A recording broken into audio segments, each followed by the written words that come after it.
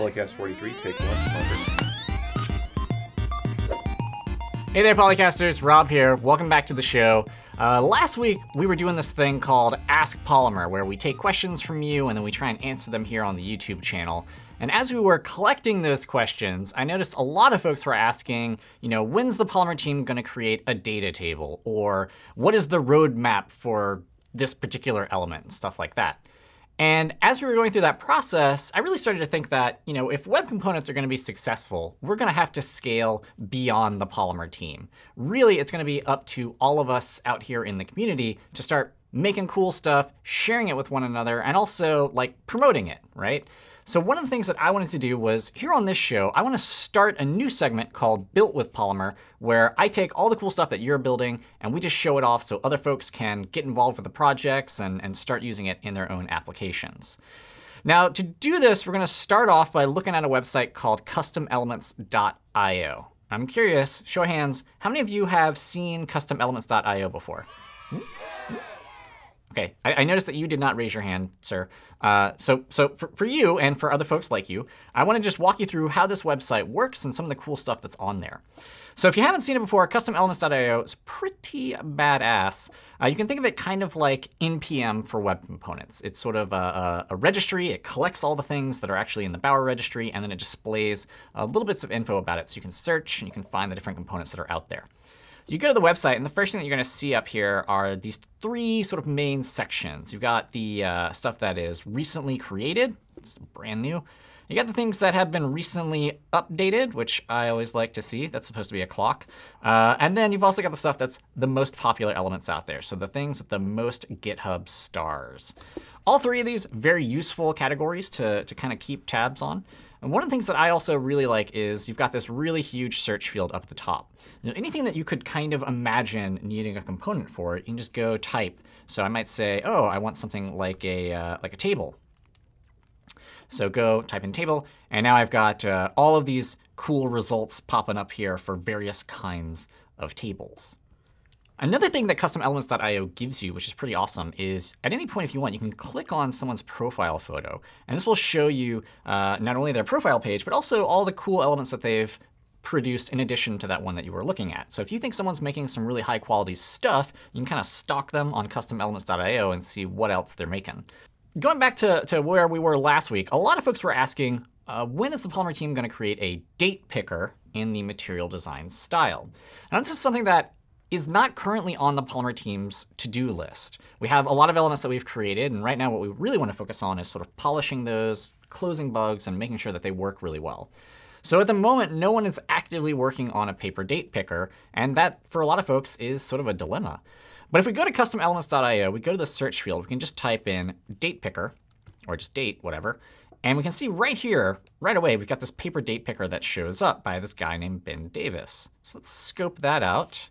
And looking at the component page on customelements.io, we get a lot of information really quick right here. So I can see, for instance, uh, how many stars this or how many stars this component has. I can see how many people have forked it and how many people are watching the issues on it.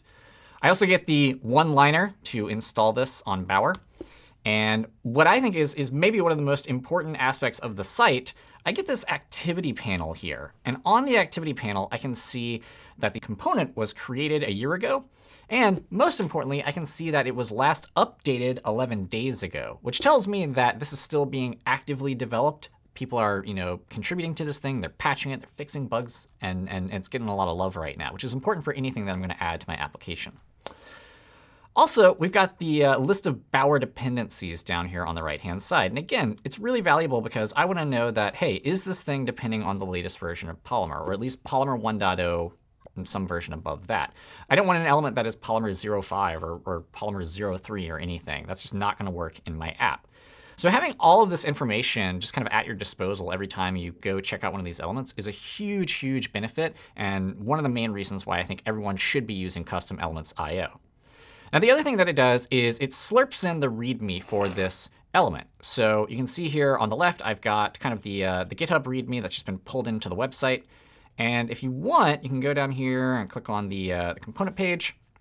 And this is going to give you sort of the uh, classic Polymer docs style, right? You've probably seen these before. You can see properties that an element supports. You can see the methods that it supports as well. Uh, one of the things that I noticed was not showing up here, usually up in the top right corner, there's a little demo button. It's not, it's not showing up on this page, but we can just add that by typing demo into uh, the URL bar. And now, we've got our paper date picker showing up. And you can see this thing looks pretty nice, right? I can, I can go click around different dates. Uh, changing the month gives me these sort of cool material design ripple effects. Close it, and then I can click this button again to show you how it reopens. Uh, lastly, one of the things that's really important is making sure that the date picker is responsive. So I go grab the corner of my browser, start shrinking the page, and then boom, uh, you can see that it has changed its layout, which is really, really good for mobile devices. So that is just one element that uh, Ben Davis has produced. If you go back to his profile on customelements.io, you can see that he's got a few other items here. Uh, uh, paper chip, paper time picker, slightly different from a date picker, paper full screen dialog. A lot of really interesting looking stuff there that hopefully we can show off in a future episode. So go find some elements on customelements.io. Go find the authors, stock them, stock them on GitHub, stock them. Don't stock them in real life, but stock them on GitHub and, and on this website, right? So you can keep tabs on all the cool stuff that they're building. Another thing that happened last week was a lot of folks were asking, when's the Polymer team going to create a data table, something that is really sophisticated that I can filter, where I can you know, rearrange columns and do all sorts of stuff like that. Honestly, again, this is one of those things that it's it's such a big undertaking. No one on the Polymer team currently has it on their to-do list because building a complex data table, you could you could seriously just found a company just on making a killer data table. And in fact, uh, there's a group of folks who have done just that. So recently, a team called Vaadin released a set of elements, which they're calling Vaadin elements. And very similar to the, the product lines that the Polymer team vends, things like iron elements and paper elements, they put out this set. And the Vaadin elements are split into kind of two categories. Uh, you've got these uh, business-oriented elements for things like data tables and combo boxes. They've even created an icon set of kind of businessy icons. Uh, and then they've also got a bunch of sort of data visualization components, Vaadin charts. Now, the uh, the core elements, as they call them, these these sort of business layout ones. These are all free and open source. They are Apache licensed, so you can use them in your project today. And then the chart elements, uh, those are a commercial license, which you have to pay for. Uh, but since a lot of you were asking about data tables, I thought this would be a really good one to highlight because it's available on GitHub and, and you can mess around with it and use it today in your project for free. So if you go to their website, which is at vaadin.com slash elements, they've got this little demo button. And if we click that, it's going to show us this cool expense manager application. So I'm going to scope out the live demo for this puppy. And we've got a really, really nice looking uh, experience here. So uh, kind of classic table layout, columns and headers. What I really like about this is there's these uh, these filters up at the top. So I can just like go and, and check some of these values. And for instance, checking in progress and reimbursed, you can see over here the uh, this this uh, the amount of items in the table is changing as I'm changing these values, right? You can sort of see them changing over here as well on the left. Uh, we can also look for different merchants. So I could say, oh, I just want to see uh, stuff from the, the taxi merchant, for instance, and we'll just get only the expenses related to that category. Uh, likewise, you know, we can search by min and max values. A lot of cool things you can do here. They've even got this little uh, floating action button down here at the bottom. So you can use that to open a dialog and actually add a new expense to this table.